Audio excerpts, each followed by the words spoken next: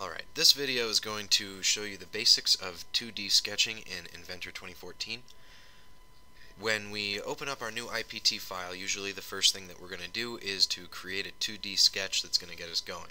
We can also use these uh, 2D sketches to make really intricate and elaborate uh, geometries if we need to.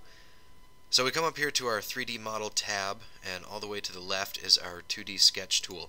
We click that and since we don't have any 3D geometries in our workspace right now, it pulls up our three origin planes and it asks us to pick one of these flat planes to start drawing on.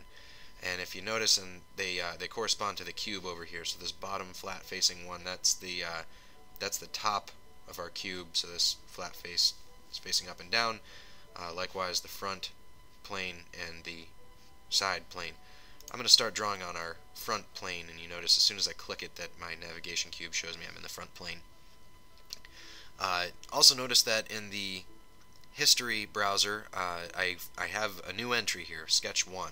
So um, every sketch that I make will appear over here in the browser and if we ever need to modify a sketch we've got to come back to the right one and make sure that we're doing it in that sketch. We'll see that in a minute. Um, but mostly the biggest difference here is that uh, we've got a new tab up here. I'm not in the 3D model tab anymore. I'm in the sketch tab. And uh, what this tells me is that I'm in sketch mode. As soon as I'm done with my sketch, I need to come over here and click Finish Sketch before I can do anything in 3D land. So these are my basic 2D drawing tools. Uh, walk through each one and do a little bit of a demo on, on each one. My line tool basically just wants me to click two points and it gives me a line between those two points. The line has no thickness, it's just a hairline, um, so it is still a flat object. I'm going to start right here with my first click in the origin and I, as I drag my cursor out toward my second click I notice a couple of things. One, uh, the highlighted number, they're asking for the length of the line so if I am do, making this part from a drawing and I can see that the drawing uh, has a very specific dimension. I can punch that in right now, and then if I hit the tab key on my keyboard, uh, the angle highlights. So hit it again, I'm going to go back and set my distance at 1.5, and it's in inches by default. So I hit tab, and it not only snaps this line out to 1.5 inches, but it highlights that angle for me, and if I want to punch this thing in at 25 point three degrees because my drawing tells me to, then I can I can punch in a number that specific and hit enter and that line will snap to these very specific uh, measurements. I click the front of the cube and it shows me everything that is it that is within view. Uh, if I had gotten these dimensions wrong and needed to edit them, I can double click on these white little ghost dimensions and punch in the actual value for the angle or distance that I wanted to uh, that I wanted to create. Say I don't have these dimensions and they uh, they got deleted or they were never there. You know, if they won't be there if you just arbitrarily choose the line tool and kind of stretch out and make your second click. Notice there are no dimensions because I didn't specify anything.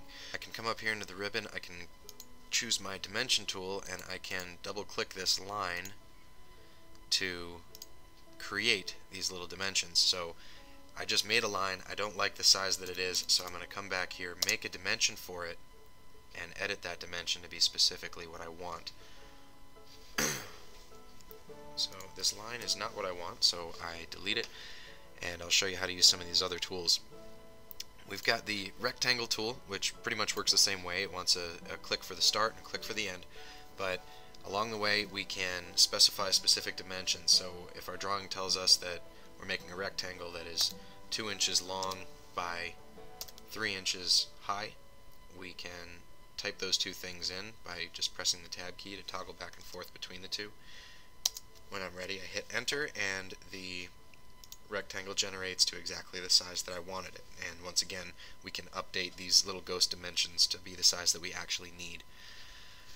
Uh, if I needed to create shapes without a, a, nice reference point, then I might need to create a reference point. Usually the way that I'll do that is by snapping lines that are a specific distance to get me to a, a, place. So if I needed to make a circle, I would need two things. I would need a, a center point and then a diameter. Sometimes placing that center point is a little bit tough, so what I did was used lines to make it from this bottom corner to the point that I actually want the center, and that gives me a reliable snap point to create my center point from. And uh, now I type in what I want the diameter of that circle to be, and I hit enter. So, once again, little dimension. If I want to change that, I double click it and I hit enter and it allows me to change the size of that diameter. Always trim away the extra segments of lines that I don't want with my trim tool. So if I'm done with my sketch, I come up here and I hit finish sketch. And what that does is it takes me out of my sketch tab and puts me back into my 3D model tab. I'm in 3D land once again. I still have my sketch over here in the history browser. If I hover over it, you can see a highlight and everything that's a part of it. Uh, if I wanted to make an edit to this sketch, there's I can either right-click it and choose to edit the sketch, or uh, I can come over here into the history browser and double-click it. What I can't do is come back here and hit Create New Sketch and uh, select that same plane and, and act like I am modifying the sketch. Notice what's happened over here in the history browser is I've created Sketch 2 and nothing in Sketch 2 can interact with anything in Sketch 1. So if I was in Sketch 1, I should have a nice green little snap point here in this corner, but I don't. Um, so if I needed to, uh, if I needed to make an edit to Sketch 1, I would need to double click on Sketch 1, and then I'd be able to reference any of the snap points that are uh, that are used in this sketch. Once our sketch is finished, click Finish Sketch and it brings us back to 3D World. If we need to save a file, it will not let us save it in sketch mode. We've got to finish the sketch first.